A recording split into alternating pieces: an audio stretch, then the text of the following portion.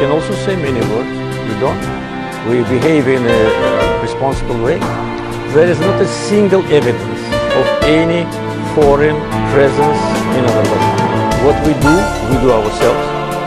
We have capable army. We have enough people in our uh, army. We have enough people in our reserves. I announced uh, partial mobilization, which will uh, allow us to involve tens of thousands of uh, reservists if necessary.